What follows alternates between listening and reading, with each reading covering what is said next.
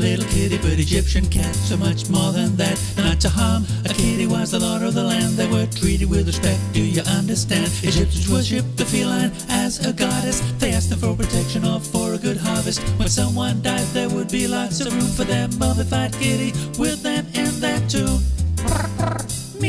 When someone died, there would be lots of room for their mummified kitty with them in that tomb.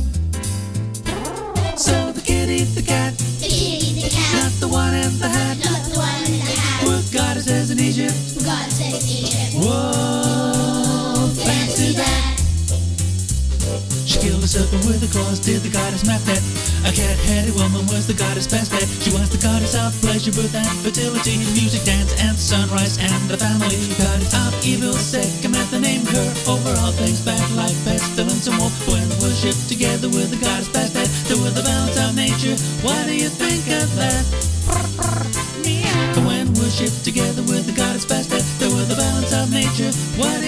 got that. So the kitty's the cat. The. Not the one in the hat. Not the one in the hat. Got the ninja? Whoa.